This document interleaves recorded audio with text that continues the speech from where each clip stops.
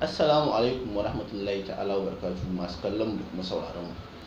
Muna tare ne da mai neman takarar majalisar wakilai ta ƙasa na ƙananan hukumomin rimin gada tufa da dawakin tufa wato honorable Ibrahim Suleiman Kali wanda aka fi sani da honorable Kali Butubutu. Honorable Bismillah. alhamdulillah kamar yadda sanarwa ta gabata suna na honorable ibrahim suleiman abdullahi butubutu wanda aka sani da honorable kali butubutu mai neman takarar majalisar wakilai ta tarayya. Na ƙananan hukumar rimin gado tufa da dawakin tufa. Ina muku sallama ɗan ta addinin musulunci.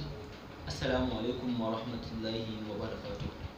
Honorable duba da irin ƙalubalen da wannan zaɓe mai gabatowa yake ciki wato na shekara ta 2023 wani tsokaci za ka iya yi akan zaɓen fidda gwani na jam'iyyunku? A'a, wannan abin ne na jam'iyya. Ba ruwanku a ciki ba hurin ku ba ne.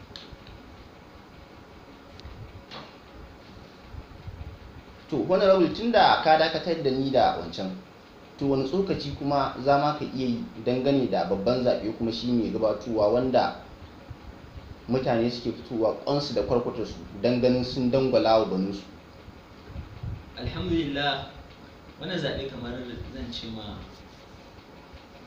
in allah da muke da nasara. Saboda yadda muke tare da matasa muke abin da matasa suke gani. Kuma matasa kowa ya sani su ne bayan al'umma.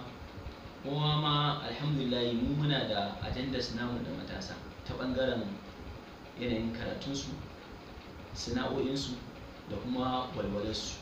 Da kuma ayyukan ya raya karkara da muke ta ƙoƙarin yi.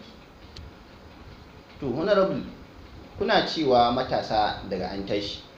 Kuna nufin shin za ku iya fitar da matasa daga wato wannan kangin rashin aikin yi haka? Insha Allah. Don matasa in Allah da mun musu da ginin cewa in Allah da za mu fitar da su daga cikin wannan dangi na rashin aiki da suke fama da shi da kuma irin wahalhalun rayuwa da ake fama da kuma yanayin tallafi na karatu insha Allah zan iya ƙoƙarin akan wannan. Honorable ba kwa tunanin yan jam'iyyun hamayya za su iya cewa wannan abu na roman kunna ne? A irin kunne su da suke mana su gudanar da ayyukan da suke ce da su mana. Insha Allah wannan muna da yakini cewa in Allah da duk a wannan kaɗan muka musu alƙawari za mu iya ƙoƙarin mu tabbatar da cewa in Allah da mun gudanar da shi.